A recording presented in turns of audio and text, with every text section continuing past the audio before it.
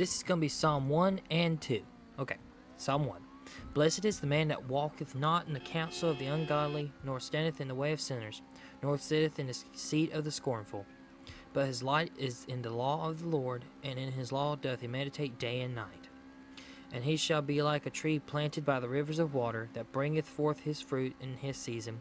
His leaf also shall not wither, and whatsoever he doeth shall prosper. The ungodly are not so, but are like the chaff which the wind driveth away.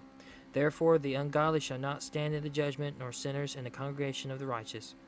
For the Lord knoweth the way of the righteous, but the way of the ungodly shall punish. Psalm 2 Why do the heathen rage, and the people imagine a vain thing? The kings of the earth set themselves, and the rulers take counsel together against the Lord, against his anointed, saying, Let us break their bands asunder, and cast away their cords from us. He that sitteth in the heavens shall laugh, the Lord shall have them in derision.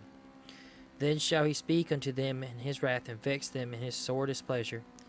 Yet have I set my king upon my holy hill of Zion. I will declare the decree the Lord hath said unto me. Thou art my son, this day have I begotten thee. Ask of me, and I shall give thee the heathen for thine inheritance, and the uttermost parts of the earth for thy possession. Thou shalt break them with a rod of iron, thou shalt dash them in pieces like a potter's vessel. Be wise now, therefore, O ye kings. Be instructed, ye judges of the earth.